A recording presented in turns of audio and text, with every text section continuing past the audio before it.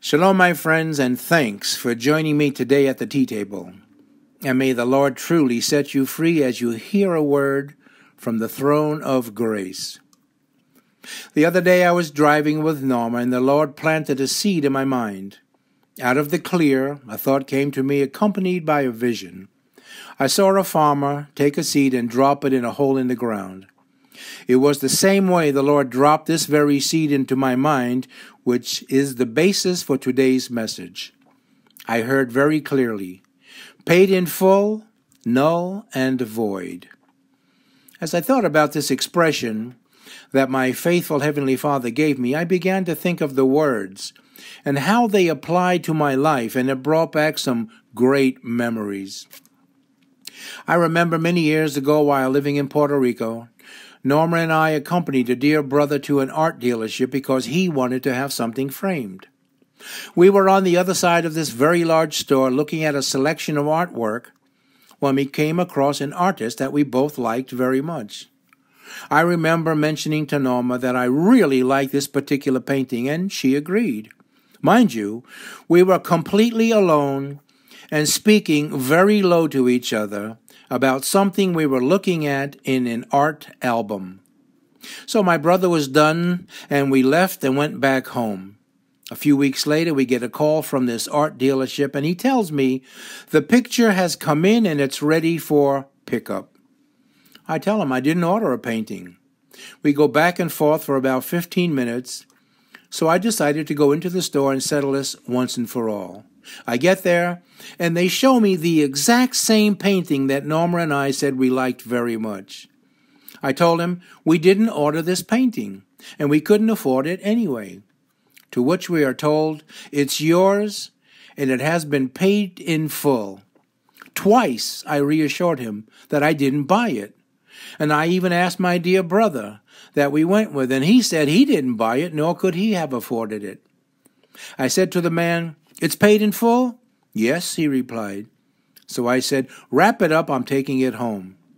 To this very day, we have a wonderful gift that we have no idea who hurt us and who paid for it, but I have a sneaking suspicion the one who gave us this wonderful gift and paid for it has his residency in heaven. Paid in full. What a wonderful sound. You know, every once in a while, Norma and I will go to a restaurant to enjoy a meal. And we ask the Lord, which table would you like us to pay for their meal? And he always points out a table. I call the waiter over and ask him to bring me the bill for that other table. And we pay their bill in full. And we never hang around to see their reaction, but we enjoy thinking about the reaction. When they ask for their bill and the waiter tells them, Your bill has been paid in full. Not only is it great fun for us and surprise, I'm sure, for the other table, but even the waiter or waitress gets caught up in what we're doing. We had one waiter tell us this is the coolest thing ever, and he had to tell the other staff members what we did. Paid in full. What a wonderful expression of release. There's another word that can bring joy if used correctly, and that's the word void, which also means canceled or annulled. I remember after my open heart surgery, we were waiting for a bill from the doctor and the hospital that probably would have been astronomical. We waited and waited, and after some time came to the realization that whatever the amount was, it had been paid in full and the bill was null and void. Thank you, Lord. The last word that can bring joy is the word null, which also means insignificant, unimportant, and unacceptable. I remember quite a while ago having a situation that involved the judicial system, and of no fault of my own, I was involved in a case that was pending against me where the other person wanted to throw me under the truck serious prayer went up. And after many months, the decision came down from the Supreme Court that the case against me was insignificant and the actions taken against me were unacceptable, and it was thrown out of the court system. Again, thank you, Lord. Were all three of these examples just coincidences of things going on in my life? Of course not. We're told the steps of a man are established by the Lord in Psalm 37 23. Sometimes, my friend, God has to direct your steps to where He wants to bless you, just like He directed our steps to an art dealership so He could bless us with a painting that we didn't even know existed. When God directs our footsteps, it also means we have a mission or task to walk out the steps or the plans that are being directed by God for our lives. And God has wonderful plans for us. For I know the plans I have for you, declares the Lord plans for welfare and not for evil, to give you a future and hope. Jeremiah 29:11. Many times God will give us a vision of what needs to be done, but may not give us each and every step that needs to be taken. And even there, God is faithful. Commit your work to the Lord, and your plans will be established. Proverbs 16:3. Now you might be asking, what does this have to do with paid in full, void, and null? The answer is we have an adversary that also likes to try and direct our steps and mess up what God is trying to do in our lives. And when we do mess up, this adversary accuses us of being a mess up. Be sober minded, be watchful. Your adversary, the devil, prowls around like a roaring lion, seeking someone to devour. Peter 5 8. And oftentimes we think we are being led in the right direction, but it is really not what God wants for our lives, and we are being deceived. And no wonder, for even Satan disguises himself as an angel of light. 2 Corinthians 11:14. Here's where we can rejoice. God always has us covered, and he will never tear us down but lift us up. The enemy not only accuses us before the Father, but he reminds us of how badly we mess up and probably on a regular basis. And I heard a loud voice in heaven saying, Now the salvation and the power and the kingdom of our God and the authority of his Christ have come.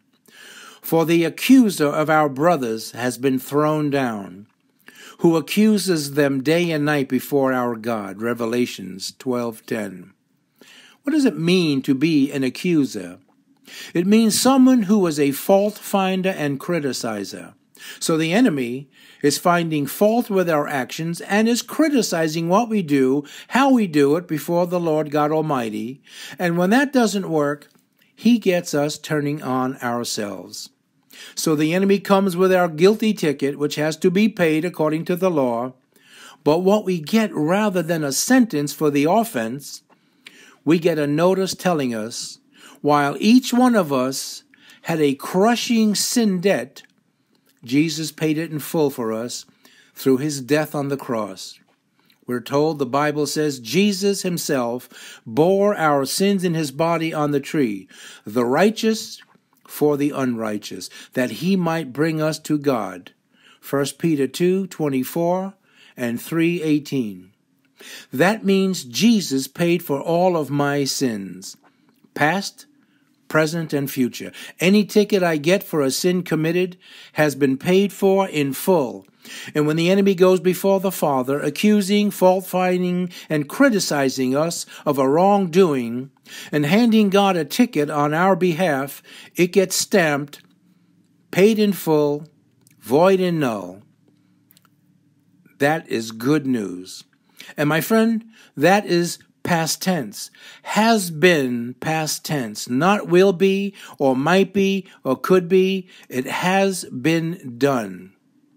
And you know, if the enemy can't get God to condemn us, he tries to get us to condemn ourselves. And oftentimes, we are harder on ourselves than God would ever be on us. It's times like this, when we are beating ourselves up, that we need to remind ourselves that we have a clean record. The penalty for the sin has been paid for by another. And when we do sin, it's not the norm, but the exception to the rule. We're told in Ephesians 2 2, in which you once walked following the course of this world, following the prince of the power of the air, the spirit that is now at work in the sons of disobedience. The key is once walked, meaning it used to be the norm, But now I am a son of the living God and not a son of disobedience. So my sins are exceptions to the rule, not a way of life. And when I do mess up, thank God I can lean on 1 John 1 9. If we confess our sins, he is faithful and just to forgive us our sins and to cleanse us from all unrighteousness. How about Psalms 32 5? I acknowledged my sin to you, and I did not cover my iniquity. I said, I will confess my transgressions to the Lord, and you forgave the iniquity of my sin. And finally, how about 1 John 2 1? My little children, I am writing these things to you so that you may not sin. But if anyone does sin, we have an advocate with the Father, Jesus Christ the righteous. My friends, Jesus Christ the righteous is the one who stamped our ticket, the reminder of the transgression, the go to jail and do not pass go card with the words, This offense has been paid in full. This ticket is no longer valid. It is void and null. Although important and deserving of a guilty sentence, this person can go free, and their record is clean and clear of the offense. They no longer have to carry the yoke of heaviness. They are free to leave, and that, my friends, is the best news we could ever hear. And with that, I leave you with this. Yevarechecha Adonai ve'yish madacha; ye Ye'er Adonai panavilecha vihunecha. Yisa Adonai panavilecha ve'yesemlecha. Shalom. The Lord bless you and protect you. The Lord cause the light of his face to shine upon you and be gracious to you. The Lord turn all of his attention to you and give to you the peace of God. God bless my friends, and I'll see you again next week at the tea table.